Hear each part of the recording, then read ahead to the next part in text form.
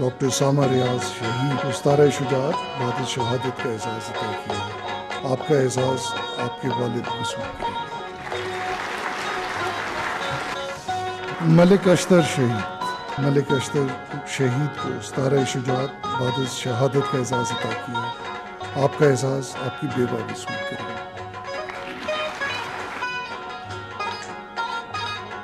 सामा साहब वहीं पर मौजूद थे घर नहीं जा रहे थे हॉस्पिटल में ही उनकी तबीयत बिगड़ गई। कहते हैं कि ब्रेन अटैक हुआ था। मैंने खुद वैक्सीन लगाई है।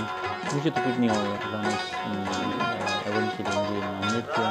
खुशी हो रही है। है? तर्जमा लिखने के लिए मुझे कोई दिक्कत पेश नहीं आई। मैं गिलगित बल्तिस्तान के गवर्नर और सदर पाकिस्तान के का शुक्रगुजार हूँ।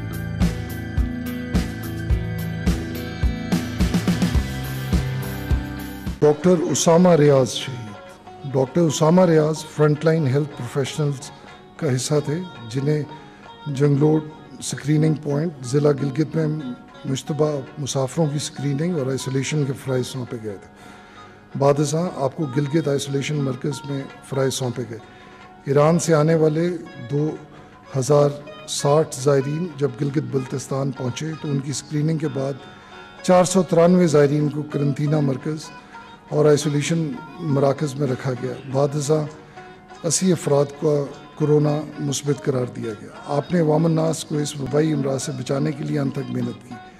बदकिस्मती से आप आलमी वबाई मर्ज कोरोना वायरस से ख़ुद भी मुतासर हो गए और फ़राइज़ की बिजावरी के दौरान अपनी जान कुर्बान कर दी।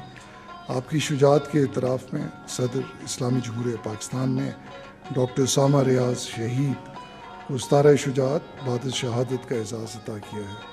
आपका एहसास आपके वालिद वसूल करेंगे।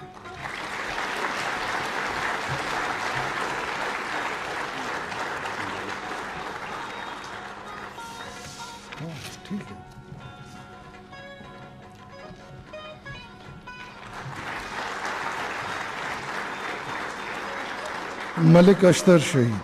मलिक अश्तर का ताल्लुक सूबा गिलगित बल्तिस्तान के ज़िला नगर से था।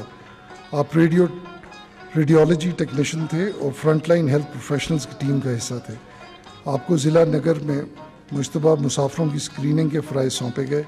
बाद आपको नगर आइसोलेशन मरकज़ में फ़राइज सौंपे गए।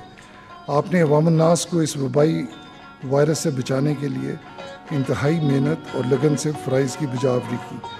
बदकस्मती से आप आलमी मर्ज वायरस से मुतासर हो गए और आपको नगर अस्पताल में दाखिल करवा दिया गया। जहाँ फ़राइज़ की अदायगी में आपने अपनी जान कुर्बान कर दी। आपकी शुजात के अतराफ़ में सदर इस्लामी जमहूर पाकिस्तान ने मलिक अश्तर शहीद को सतार शुजात बाद शहादत का एजाज़ अदा किया है। आपका एहसास आपकी बेबा वसूल करेंगे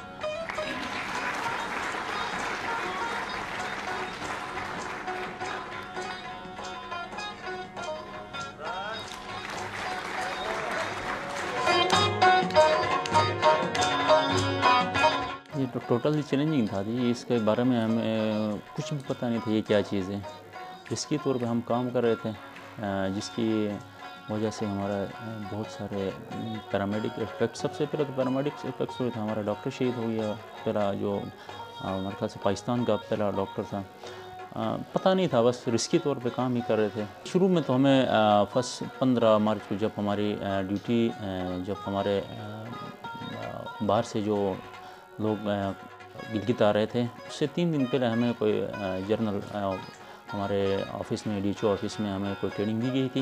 उसके बाद हमें फ़ील्ड पे भेजा गया था। पंद्रह तारीख को जब स्कैनिंग कैंप जुगरोड में लगा था, पंद्रह मार्च 2020 की बात कर रहा हूँ। उस वक्त से सामा साहब वहीं पे मौजूद थे, घर नहीं जा रहे थे। एक हफ़्ते के बाद, जब तीन दिन के बाद हमारे पास हमारे पास कोई आठ पॉजिटिव पेशेंट आए थे। हमारे से जो पच्चीस जो हमारे बाहर से ट्रेवल करके हमारे गिलीत में आए थे हमारे लोकल जो बंदे थे उसको चेकअप करने के बाद उनको फ़ील्ड हॉस्पिटल में ही उनकी तबीयत बिगड़ गई थी जिसके बाद हमने उनको घर शिफ्ट किया। घर से फिर वो हॉस्पिटल गए और वो जाबाहत न सके और वो शहीद हो गए। कहते हैं कि ब्रेन अटैक हुआ था अ, उनकी जो सिटी स्कैन रिपोर्ट्स के मुताबिक। जैसे ही मैं और समाज शहीद साहब जो बाहर निकले तो वो कह रहा था मुझे वॉमिटिंग फील हो रही है और मेरे हेडेक हो रहा है। तो अंदर हम लोग हमारा ऊपर साइड में जो हमारा कोविड सेंटर्स थे, वहाँ हमें भी जी बी गवर्नमेंट ने और हमारे डिपार्टमेंट ने हमें रिहाइश दी थी। वहाँ जाकर उसको मेडिसिन मेडिसिन वगैरह हमने फ़र्स्ट एड जो था वहाँ पे लिया था। उसके बाद वो रहा था, मैं अभी रेस्ट करना चाहता हूँ, मेरा हेडेक ज़्यादा हो रहा है। अवेयरनेस लोगों में बहुत ज़्यादा आ गई है और एस का भी अभी ख्याल कर रहे हैं। समथिंग ज़्यादा, कुछ लोग इसको अवॉइड कर रहे हैं। वो एक्सेप्ट नहीं कर रहे हैं कोविड को। इक्विपमेंट के हवाले से ये कि पहले भी हमें इक्विपमेंट लिए जा रहे थे हमारे जीवी गवर्नमेंट की तरफ़ से और हमारे डिपार्टमेंट की तरफ़ से। अब भी माशाल्लाह बहुत अच्छे इक्विपमेंट आए हुए हैं। बाकी वैक्सीनेशन हमारी डॉक्टर्स और पैरामेडिक्स की तमाम हो चुकी है। मैं खुद वैक्सीनेटेड हूँ। बाकी ये है कि लोगों में अवेयरनेस के अलावा भी अभी पहले जो खौफ था ना, खौफ कम हो गया है। हमारा इलाका ऐसा है कि वहाँ थोड़ा हार्ट इलाका है हमारा। ऑक्सीजन वगैरह पे, वहाँ पे कमी ज़्यादा होती है और हमारे खासकर बुज़ुर्ग जो है ना, उनका एहतियात बहुत ज़्यादा बहुत ज़्यादा ज़रूरी क्योंकि हमारे पास जब मैं फ़ील्ड में काम करते थे जो सेंटमेटिक ज़्यादा होते या अक्यूट ज़्यादा होते थे, वो हमारे बुज़ुर्ग ज़्यादा होते थे। जॉन और यंग जो जनरेशन थी, वो इतनी एक्यूट उसमें नहीं जाते थे, लेकिन हमारे बुज़ुर्ग बहुत ज़्यादा एक्यूट होते थे। खुश भी हैं और कुछ कहते हैं कि नहीं, आप लगा दें, आपको कुछ नहीं हो गया तो हम लगा देंगे। यहाँ तक की बातें हो रही पता है, अभी इसमें मुख्तलिफ़ कसराएँ जारी हैं मैंने खुद वैक्सीन लगाई है। मुझे तो कुछ नहीं होगा। ठीक है ना? मैं इवन जहाँ तक मेरे जो बॉडी ये लक्स वगैरह पेन करी थी, वो भी मेरा आराम हो गए क्योंकि इसके अंदर इम्यून सिस्टम है। वही आप इम्यून सिस्टम बढ़ाता है। बाकी इसमें कोई ऐसे कोई कहते हैं कि इसमें ये चीज़ है, कोई ऐसी चीज़ है, आपको कुछ नहीं होगा तो हम लगाएँगे। ऐसी कोई बात नहीं है। अल्हम्दुलिल्लाह जी, अल्लाह का लाख लाख शुक्र है। अल्लाह ने इस इवेंट के लिए मुझे नॉमिनेट किया है। तो खुशी महसूस करते हैं जी शुक्रिया अदा करते हैं जी भी गवर्नमेंट और वफाक की गवर्नमेंट खुश हैं ये मेरे साथ बैठे हैं खुश हैं? खुशी हो रही है। अबू को तम तमगा मिला है बस खुशी हो रही है। नॉमिनेट किया गया था तब एक साल पहले नॉमिनेट किया गया था बुक को। तो फिर उस वक्त बहुत ज़्यादा खुशी हो रही थी एक्साइटमेंट हो रही थी कि कब जाएँगे और कब लेंगे उस दौरान बस अबू के लिए दुआएँ कर रहे थे। बहुत डर लग रहा था कि क्या होगा, पता नहीं। अबू बहुत बुरी हालत में थे ना मैं प्री नाइन में पढ़ती हूँ। ला करना चाहती बस ऐसे ही शौक है बचपन से। स्कूल में बस जो रश है वो कम होना चाहिए स्कूल्स में और एस पर अमल करना चाहिए, बस ये लोग अमूमन अरबी पढ़ते हैं, लेकिन उसके अहकाम से हाल वाकिफ नहीं होते हैं। सिर्फ़ तोते की तरह ज़बानी, हरूफ याद करके वही पढ़ते हैं। तो मैंने चाहा कि लोगों तक इसका अहकाम का इस्तेमाल करने की कोशिश हो गुंजाइश हो जाए। तो इसलिए मैंने कोशिश किया कि इसको जना ज़बान में तर्जमा करने का। तो इसके आसानी से नहीं हुआ, बल्कि ये तलब इलमी के दौर से मैंने शुरू किया था। तमाम मुलाजमत के दौरान में भी मैं इस तर्जमा के पीछे लगा रहा, जाकर आखिर 2010 2011 के जनवरी, यकम जनवरी से मैंने तर्जमा हाथ से लिखना शुरू किया। और इकतीस दिसंबर 2011 में मैंने ख़त्म किया तर्जमा।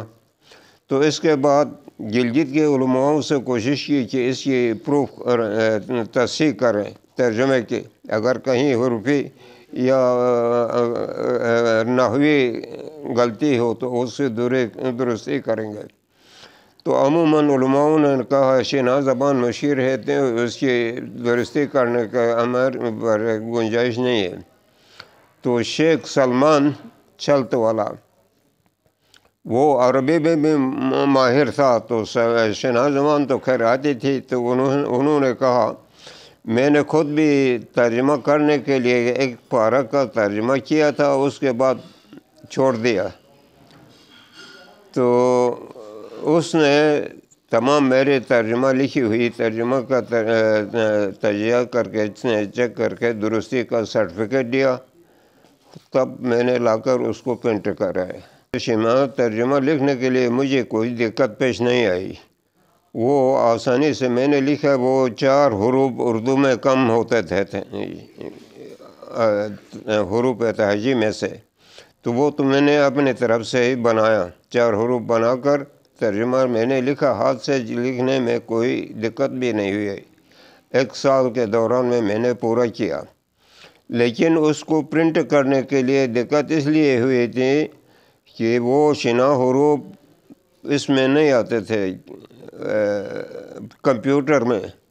तो उसको, उसमें लाने के लिए कम अज़ कम दो तीन साल लग गए इधर, उधर से कोशिश करने के।